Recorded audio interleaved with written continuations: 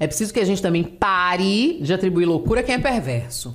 Porque essa história de perversidade não é a mesma história de maluquice. Eu tô vendo um monte de gente se valendo. Pronto, os casos de racismo no Brasil né? O último agora, é, de Brasília.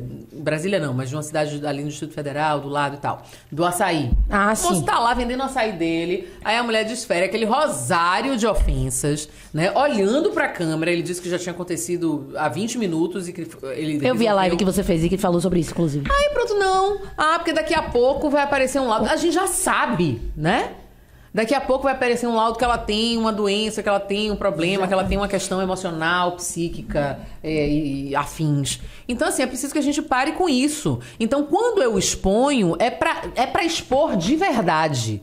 Sabe? Eu não tenho medo de jeito nenhum. Não tenho medo de treta, não tenho medo de problema. Por isso que eu não tenho um advogado, eu tenho um escritório que me representa. Porque, assim, é preciso que tenha uma equipe preparada pra quando o negócio vier de lá.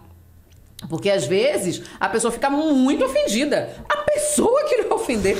E depois a pessoa fica muito ofendida. Porque eu falei no direct e você me expôs. Eu falei, assim, mas meu amor, você falou no direct impropérios dos mais absurdos.